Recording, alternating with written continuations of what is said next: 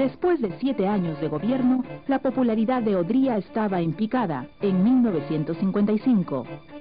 Se quiso entonces manipular las elecciones y la respuesta fue una ola de protestas.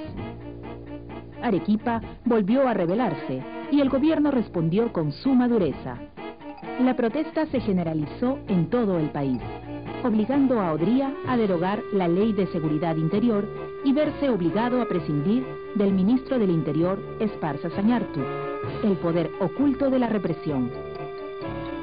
A las elecciones de 1956 se presentan Hernando de la Valle, apoyado por Odría, Fernando Belaúnde Terry y Manuel Prado Ugarteche.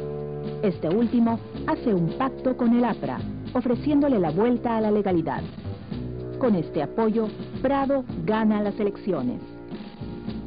Un sector del APRA no aceptó la conciliación de su partido con Prado. Rechazaban la nueva línea política conciliadora. Así, los sectores desengañados del aprismo se trasladan a militar a grupos de extrema izquierda.